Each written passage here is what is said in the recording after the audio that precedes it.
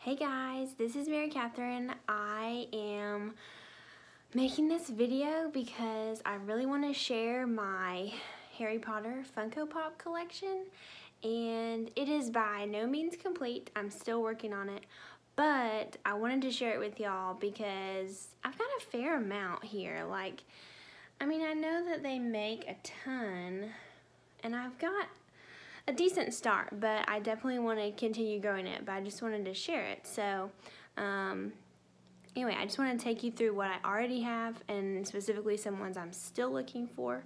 Um, so yeah, here we go. Okay, so the way I have my pops organized is numerically. So I just put them on the shelf, starting with one and going through the the one that I think is the last, like I have, I have an 82 down here. So I've got some different ones in between.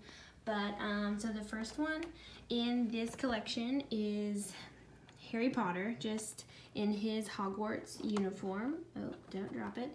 Um, so number one, um, and he has his wand in his hand, and pretty standard.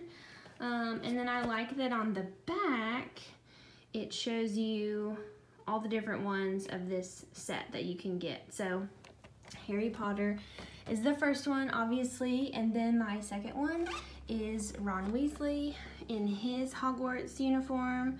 And um, one thing I love about these Funkos is I love the detail that they put into them, um, specifically with Ron's wand being taped.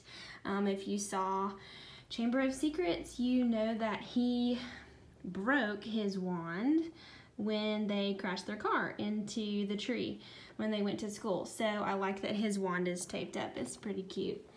Um, and then number three is Hermione Granger in her Hogwarts uniform. Um, I love her cute little straight across bangs. Um, she's number three in this set. Um, and then number four is Albus Dumbledore, and he's in this really cool purple cloak and a hat. Um, he actually, actually have another Albus Dumbledore as well later on in this collection who's in a different outfit, but I like that they put him in something really colorful um, and the stars that are on his hat also. Um, so he is the fourth in this first set. And then number five is Severus Snape. Um, and I love his hair. I just think it's so perfect. Um, always kind of long and obviously in pretty dark cloaks all the time. And um, yeah, I just think he's so cute. And he's number five in this set. And one thing, I'm not real picky about my boxes. The condition I've I definitely want them to look as good as they can, but I'm not super picky about it.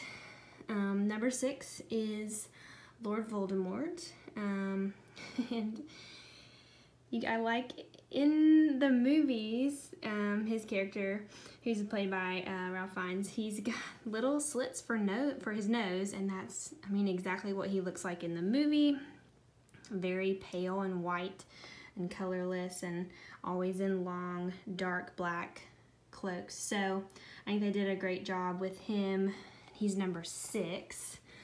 Um, the next one that I have, I'm actually gonna go down to some of my larger pops here on the floor, which is number seven, um, Rubeus Hagrid, and he is actually bigger than the standard pops. I think he may be like a six inch. And I love that they have his pink umbrella, which is also his wand that you see in the first movie when he comes to get Harry. Um, but yeah, he's it's kind of fitting that he's one of the six inch pops because he is huge in real life. So I think it's kind of fitting that they made him into one of the larger pops. Um, so he's number seven. I'll show you some of these other big ones in just a little bit.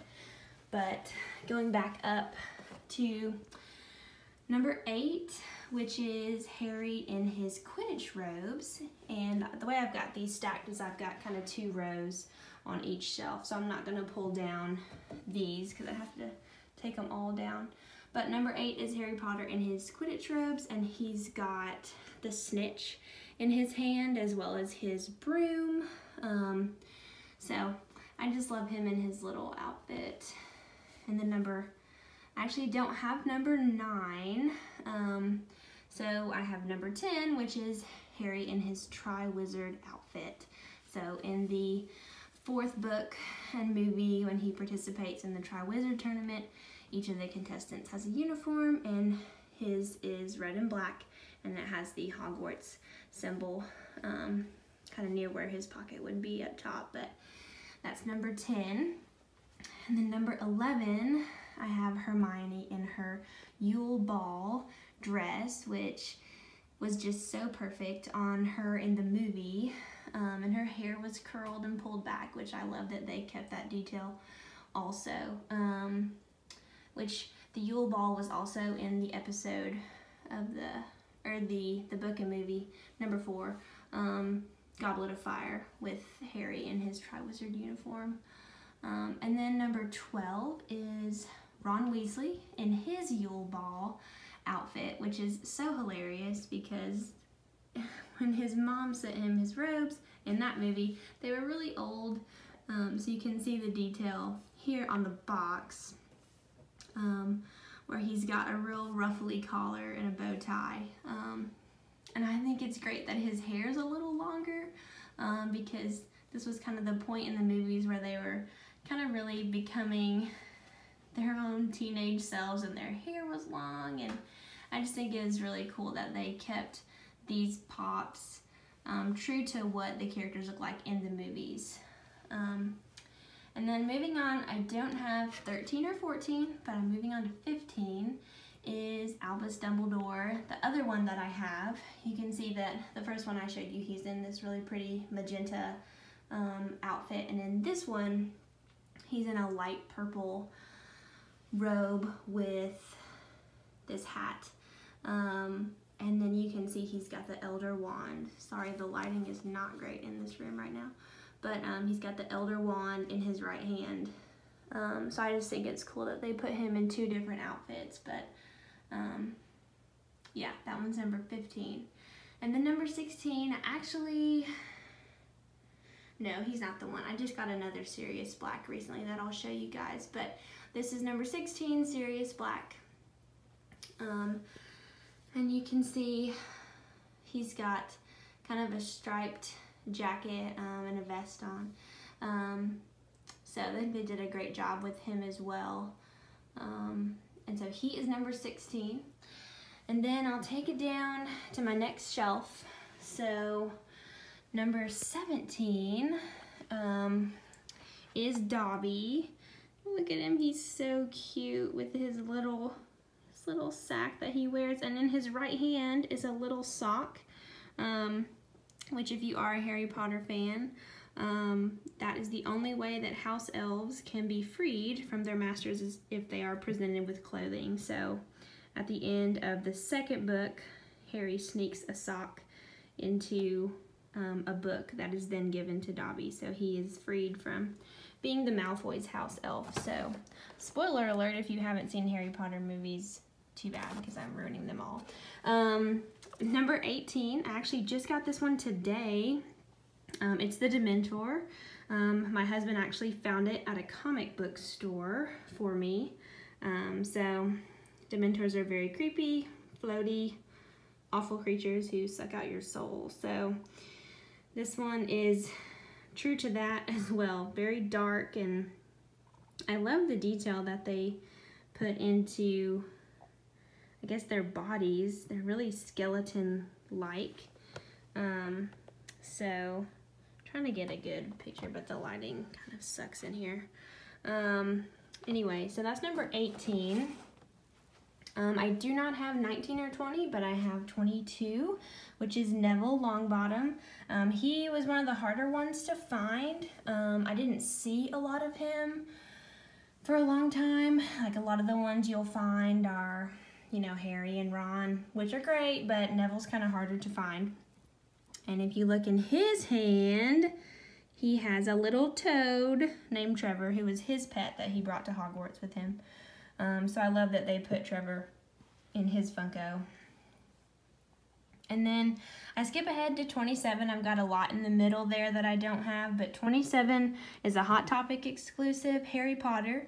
Um, and he is in his Christmas vest that Mrs. Weasley made for him, um, which is just cute. His is blue with an H on it um, that Ron's mom made for Christmas. And then number 28 is another Hot Topic exclusive with Ron with his Christmas sweater. So I think it's cute that they're together on my shelf.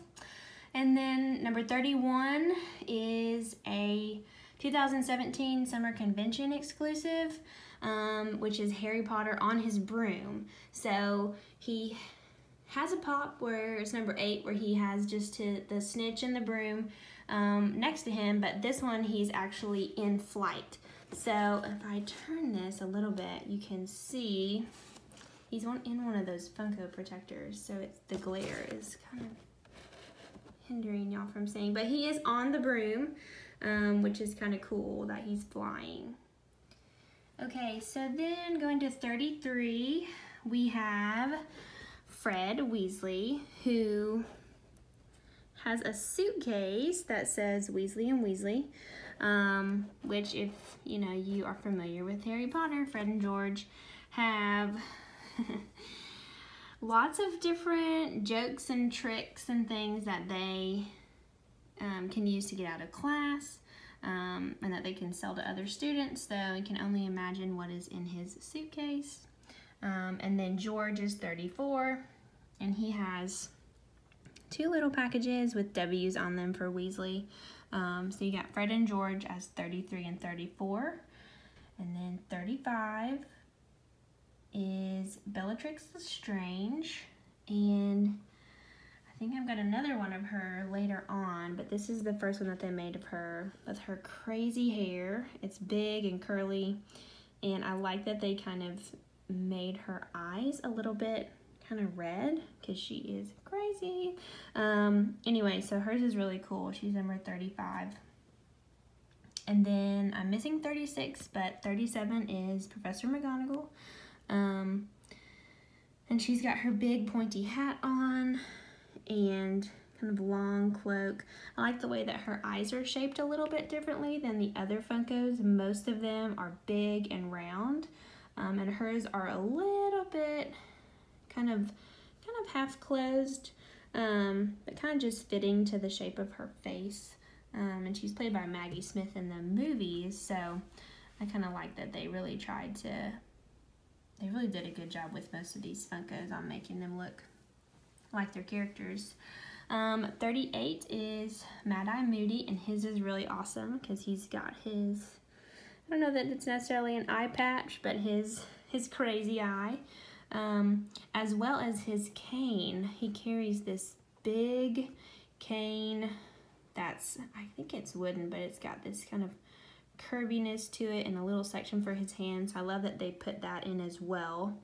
Um, and then everyone's least favorite character, I think she's worse than Voldemort, is Professor Umbridge. And she's in her horrible all pink outfit.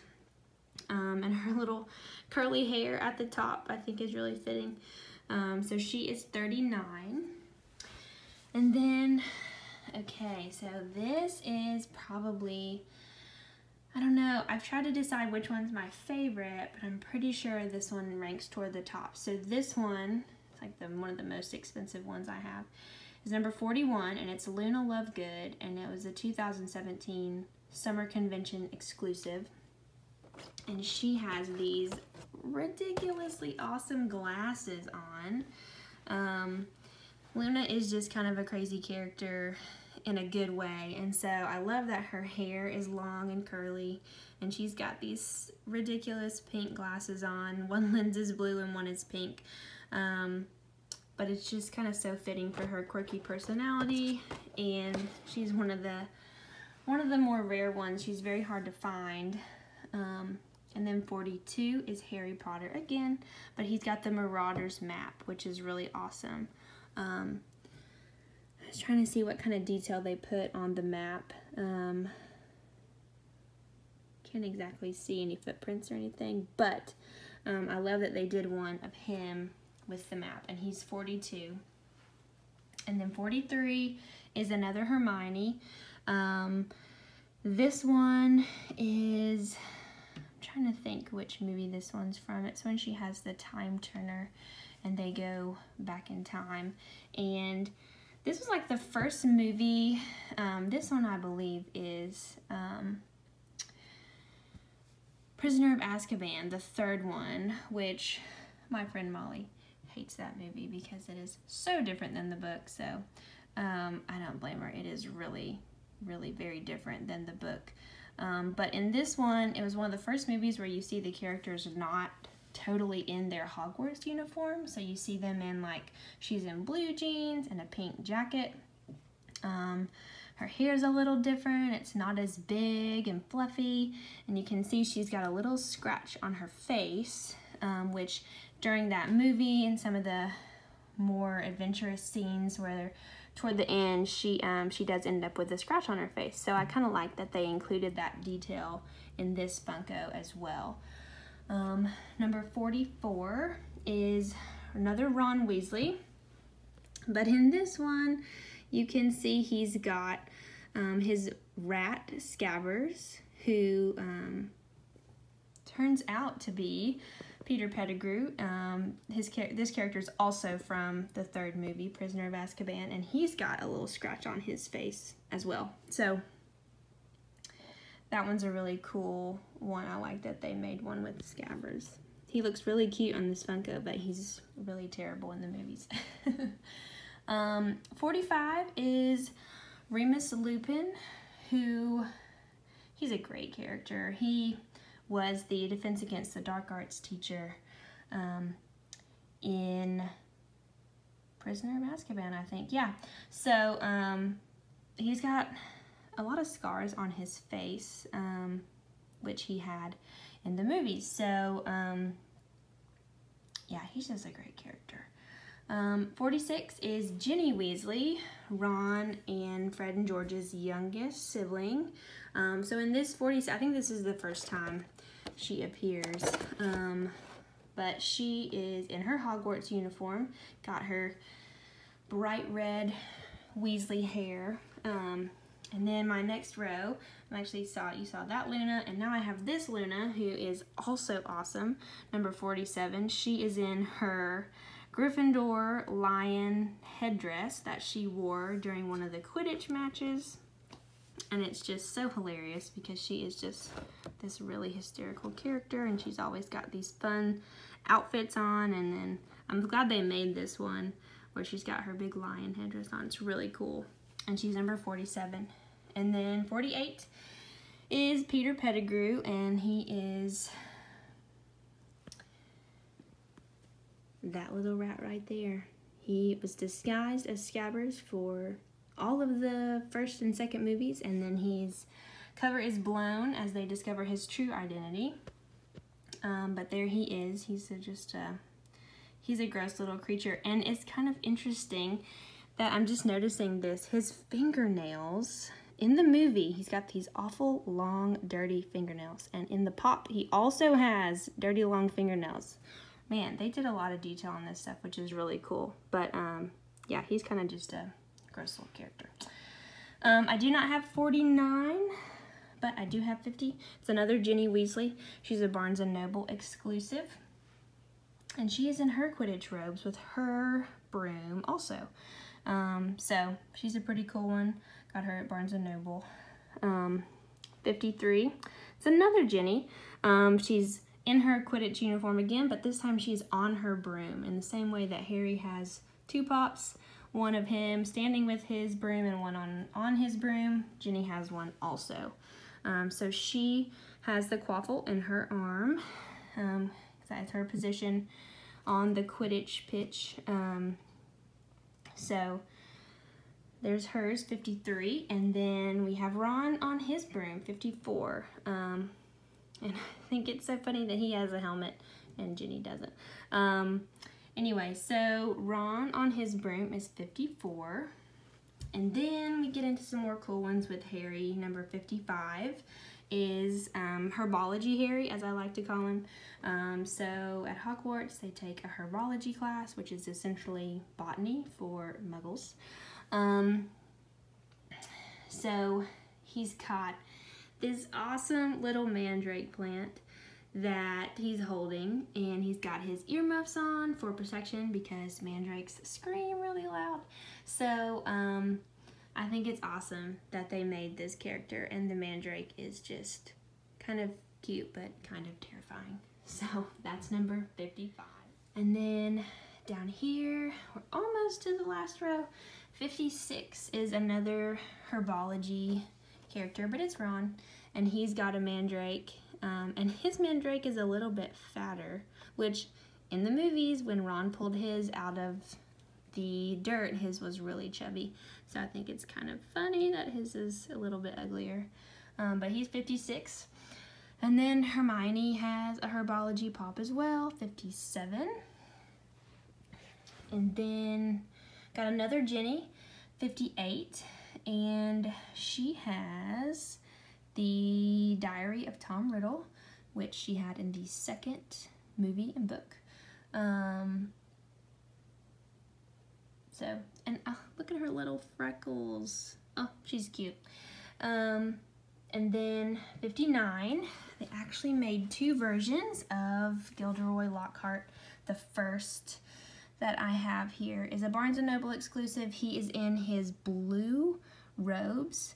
Um, and then they did a, another one of him in kind of like a blush colored outfit. So it's the outfits are very similar, just different colors. They just, I guess, re-released this one through Barnes & Noble with a blue outfit because he was known for his very brightly colored robes. And then number 60, this one, I also have two Tom Riddles. This first one I'm going to show you is basically the exact same pop as the original one, but Target came out with this one and he's kind of like in a black and white sepia tone kind of thing. So he's he's really kind of muted in the colors that they use. And the reason for that is when Ginny lost that diary and Harry found it, he basically got to see back into time when Tom Riddle was at Hogwarts and the whole scene is in kind of this black and white sepia tone. So that's why they made this Tom Riddle in the color scheme that they did. Um, so that one you can buy only at Target. And this is the original one, number 60 Tom Riddle. Um, he's just in a pretty standard Hogwarts outfit as well. Um, 61, this one is awesome because it's Moaning Myrtle and the lighting's not too great for y'all to see her, but she um she glows in the dark, which I've never actually tested before, but I think I might have to. But she's a 2018 summer convention exclusive, and um, it's awesome because she and all the other ghosts that I have, they're in like this, they're kind of like this blue, you know, kind of clear because they are ghosts, um, but this one actually glows in the dark, which is pretty awesome. And then 62 is Nearly Headless Nick, and you can't see really well from this angle, but his head will kind of tilt to the side as he is not totally headless, but nearly headless, and he's also in this blue color. He does not actually glow in the dark. I think you can get a version of him that does, but um, this one doesn't. Um, then I love this one. Number 65 is a Books A Million exclusive, and it's Seamus Finnigan, and it's hilarious because Seamus is known for kind of blowing things up when he's attempting to cast spells. So, in most cases, his spells result in a big explosion. His hair is kind of blown up and he's got all this dust on his face. And I love that that's how they made his pop because it is so fitting. So I really love this one that they chose to kind of portray him in that way because that's kind of exactly what his character did in the movies. And this one, oh, y'all, it's awesome. It's another Books A Million exclusive, and it is number 66. It's Minerva McGonagall as her cat.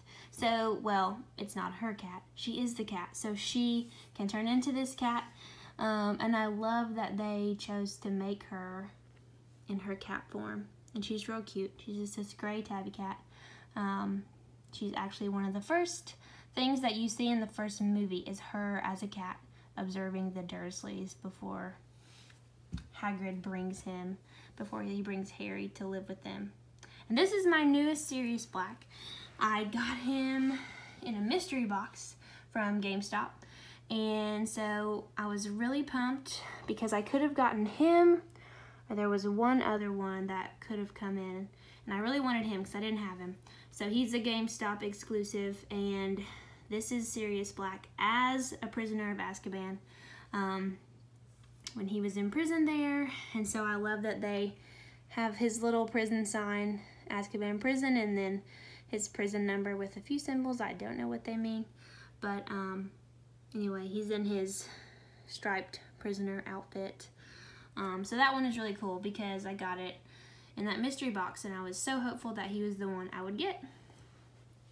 And so now we're at the bottom of the shelf. Number 69 is my next one. I don't have 68.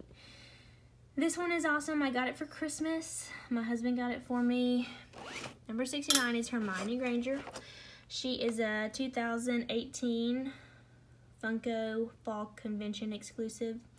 And it is Hermione Granger in the sorting hat. So she is sitting on the stool in Hogwarts. I'm trying to get where y'all can see. And she has the sorting hat on her head being waited, um, waiting to be sorted into Gryffindor. So she's number 69. And then I have Ron being sorted also. He's number 72. And, ooh, 71, 73, I don't have quite yet. Um, so 72 is Ron being sorted as well. I don't have Harry yet, so he's the last one that I need as far as the the big three being sorted into their houses. And then 74 I also got for Christmas this year. It is the Bloody Baron, and I love that obviously not only he's that kind of clearish blue that the ghosts are, but he's got blood pouring out of his neck, which is awesome because that is exactly what his character has in the movie. Um, so I love that they didn't spare that detail also, and he's number 74. And this one is incredible too. Um, also a Christmas gift.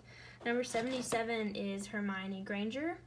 When her Polyjuice potion didn't quite go as planned, um, she accidentally put cat hair in her Polyjuice potion for hers, and so instead of turning into one of the female Slytherin students, she turned into this cat. Um, which I think is just awesome that they decided to make this into a pop.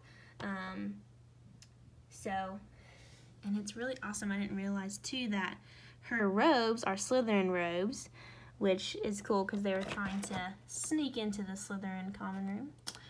Um, 79 is my next one that I have, and it's Harry from the second movie.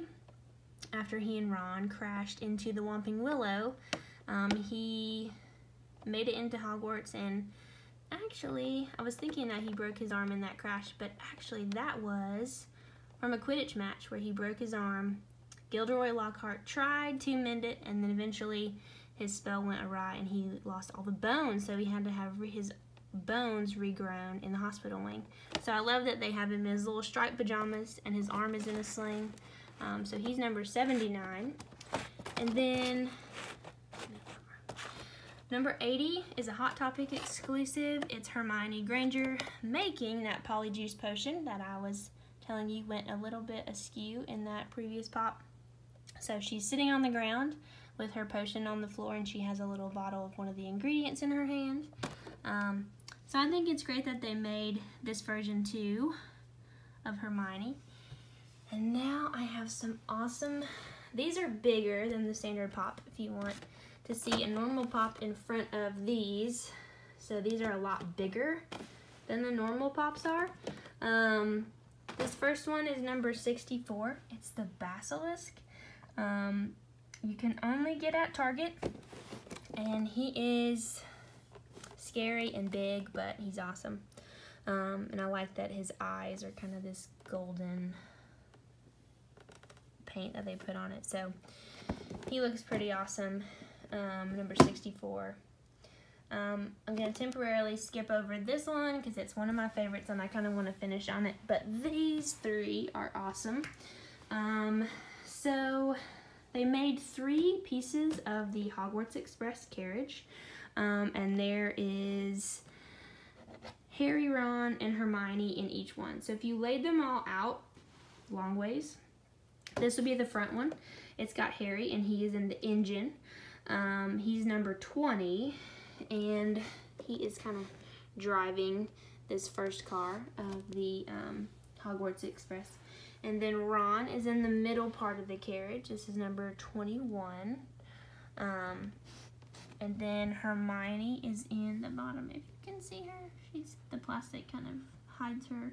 But um, anyway, that's number 22. So if you laid them all out, they would kind of all go in sequence. But um, they're really awesome. Um, and then the last one, which is probably my favorite one, is number 82. Um, it is Ron Weasley riding the chess piece from the very first movie, which is incredible that they made this into a pop. So, Wizard Chess is a pretty crazy game where the pieces actually physically like take each other down. It's really cool. Um, so in the end of the first movie, he has to mount one of the knight pieces and actually physically ride this chess piece through the game. And so I love that they made this into a pop because it's huge um, and it's him on his horse um, like he was in the movie. And so I just think it is just incredibly awesome. But it's probably my favorite one. It's also the biggest one that I have. Um, so yeah, I've still got some more to go. And my husband and I are going to the Dallas Fanboy in May. And so I'm really hoping there's one pop in particular that is very hard to find. And if you do it's kind of expensive. But it is the Snape as a Boggart from Prisoner of Azkaban. And really pumped to even be able to find one so I'm not really sure if I'm going to be able to find one. I think they're kind of hard to get your hands on, but that's going to be my main goal at the Dallas Fanboy is to find it and hopefully buy it. Um, and if not, I'll just get a few more pieces that I have in my collection that I need. Um, so if I can't find Snape, I'll find some others to add. Um, and one thing, if you are a Funko collector, um, Funko has an app that you can get.